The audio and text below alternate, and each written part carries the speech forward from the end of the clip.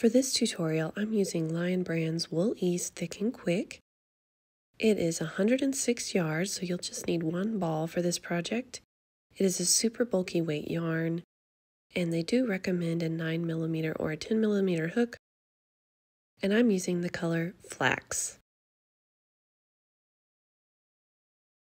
I'm going to be using the suggested 9mm hook, and I'm also going to be using this pom button from angieandbritt.com. I'll link it in the description box, and a tape measure.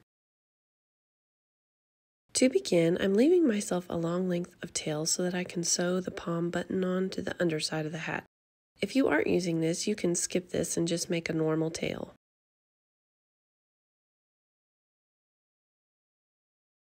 Begin by chaining four.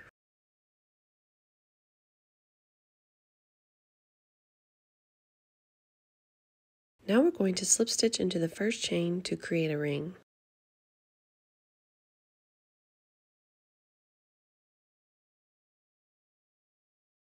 We're going to be working inside that ring. Chain one. Inside the ring, you need to make eight single crochet. Now you will notice that I crochet right over the top of my tail here. That is so that I can cinch it closed a little bit more after I make this round.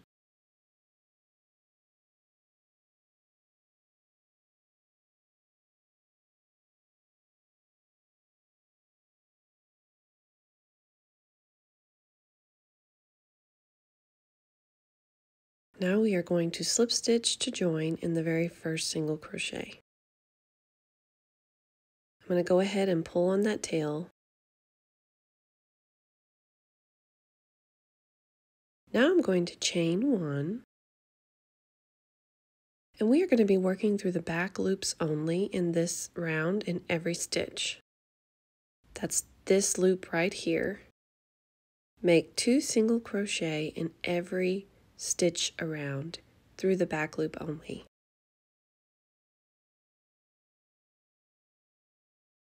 Of course, you should have 16 single crochet at the end of this round.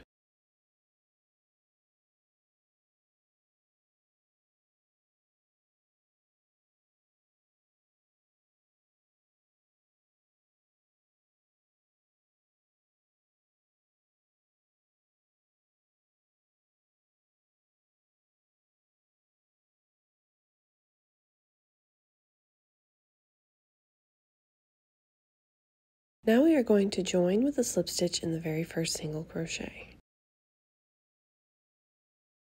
This is what it should look like. It creates a nice ribbing there. Now we're going to chain one. We're going to be working through the back loops only again in this round. That's these loops here. We're going to put two single crochet in the first stitch and then one single crochet in the next. Repeat that, two single crochet in the next stitch, and then one single crochet in the next. You're just going to repeat that stitch pattern all the way around, increasing in every other stitch.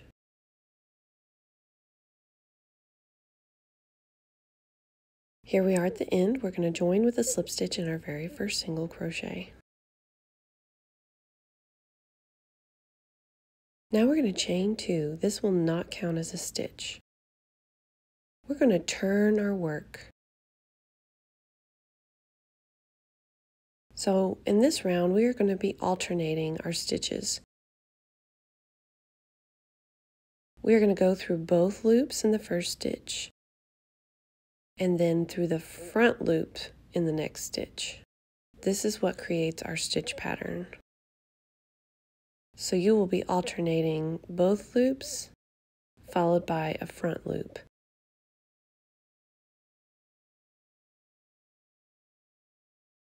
So in the same stitch we joined, we're going to put two double crochet through both loops.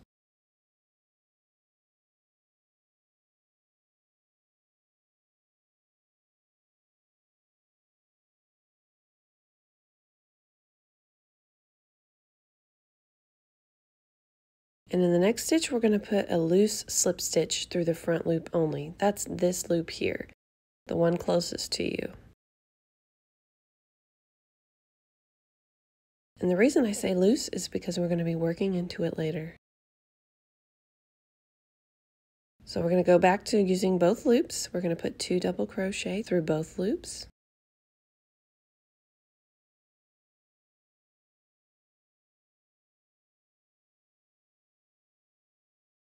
And we're going to make a loose slip stitch through the front loop only in the next stitch.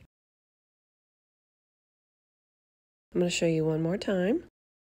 Make two double crochet through both loops.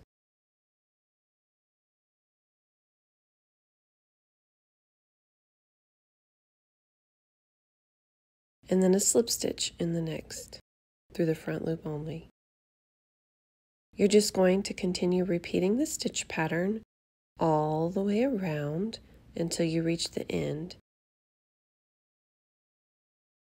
So here we are at the end. We're going to skip right over that chain two and slip stitch into our first double crochet to join this round.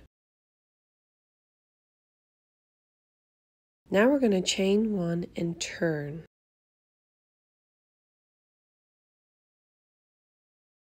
This is what it should look like. We're going to be working through the back loops only in every stitch in this round. They're a little harder to see, but it's these loops here.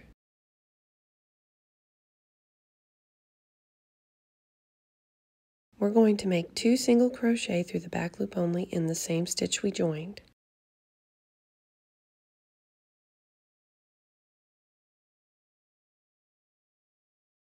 Now we're going to put one single crochet through the back loop only in the next three stitches.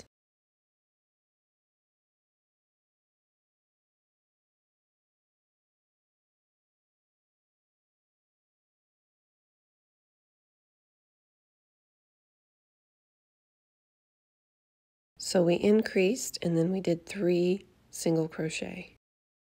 Now we're going to increase again we're going to put two single crochet through the back loop only in the next stitch. And then now we're going to put one in the next three stitches in the back loop only. You should see the pattern forming here. We are increasing in every fourth stitch.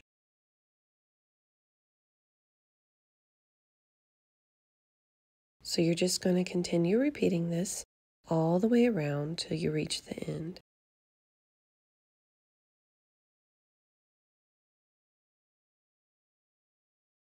Here we are at the end. Now we're not going to do our regular slip stitch because this won't be hidden by our pom-pom. So we are going to do an invisible slip stitch. Begin by moving your tail to the back of your work. Remove your hook from your working loop. Insert your hook in the first stitch of the round from back to front.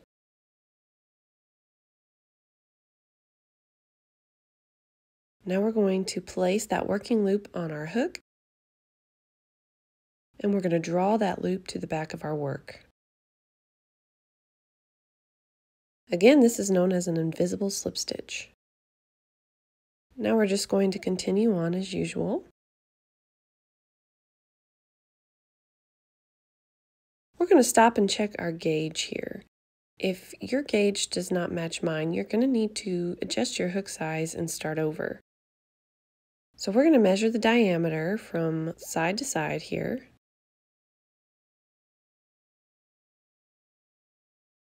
Check and make sure it measures anywhere from 6 to 6.5 inches. If it does not measure that, then you need to start over. Adjusting your hook size first, of course or 16 centimeters.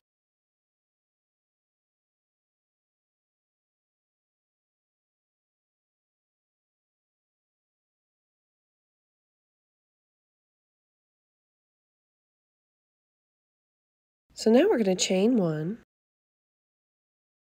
and working through the back loops only again, we are going to skip our very first stitch. And the reason being is we have an odd number and we need an even number for our stitch pattern. So we're just going to be skipping our first stitch and we're going to work a single crochet through the back loop only in the rest of the stitches around.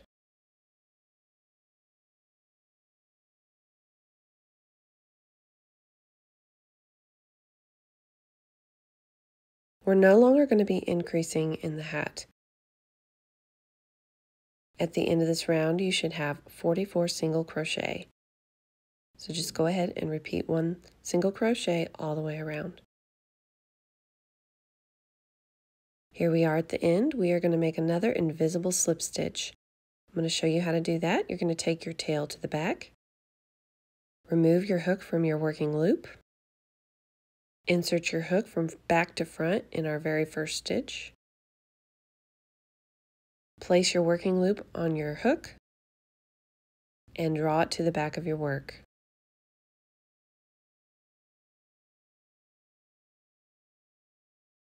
We're going to start round seven now. We're going to chain two. This will not count as a stitch. We're going to turn our work.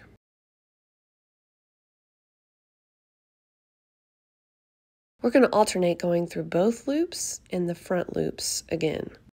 So just like we did before, we're going to alternate both loops and front loops in this stitch pattern.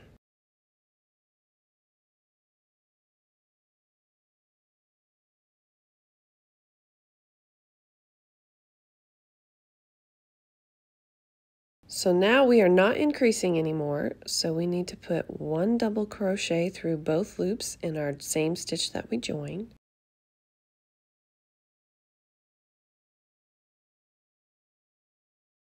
And we're going to do a slip stitch through the front loop only in the next stitch. Make sure you make it loose enough to work back into later. So continue alternating that, a double crochet through both loops and a slip stitch through the front loop.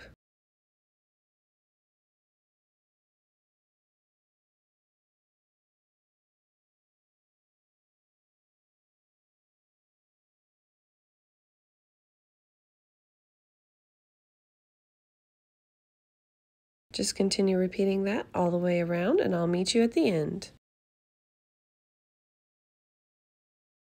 So here we are at the end. We're going to skip that chain two and slip stitch into that first double crochet of the round. Now we're going to begin round eight. Chain one and turn.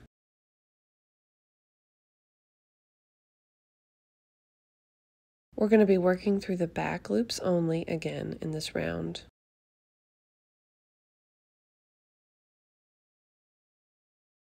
So in every stitch through the back loop only around we're going to make one single crochet. I will say it's very easy to increase in these rounds. So be sure when you are finished making this round that you stop and count and make sure you only have 44 single crochet.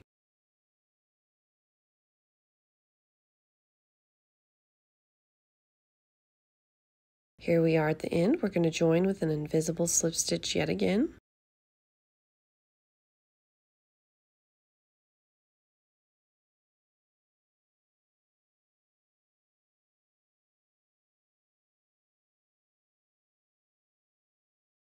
Chain one and we're going to single crochet again through the back loop only in every stitch around.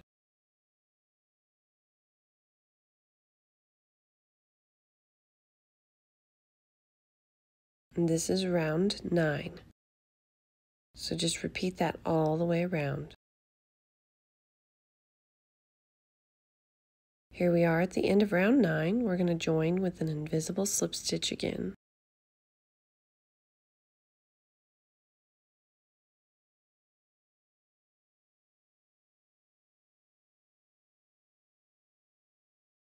You should see the pattern forming here.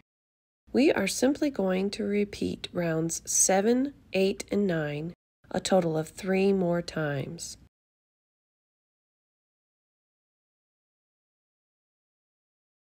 So if you look at the one I've already finished, this is round 7, followed by rounds 8 and 9. So you're just going to continue repeating 7, 8, and 9 three more times. So you should have a total of five sort of like bobble rounds when you're done. And I wanted to show you the invisible slip stitch really makes a nice seam in the back. It's almost invisible, which is really what I was going for. So as you can see, it looks really nice. So you're just going to continue rounds 7, 8, and 9 until your hat measures about 8.5 inches, or about 22 centimeters. Now you can continue repeating rounds 7 through 9 until it gets the measurement you want, but I just like it like this. Don't forget to, to turn on round 7 repeats so that the texture is on the outside of your beanie. So this is how you get it on the outside of your beanie. You have to turn and work on the wrong side. And then make sure that you turn again after finishing round seven so that the ribbing is facing the outside of your hat when you do your single crochet through the back loop only. So here's one that I already finished and I wanted to show you. This is how the pom button works. I put a little tag on the elastic of my pom-poms and slide it through and then wrap it around the button until it's secure. So that's why I left this tail so that I could sew this button on. And it gives the care instructions right on the button, which is very convenient. You are finished. Your Baelynn beanie is complete. I hope that you enjoyed this tutorial today. If you did, please give it a thumbs up. And if you haven't already, please subscribe to my YouTube channel. Thank you so much for watching.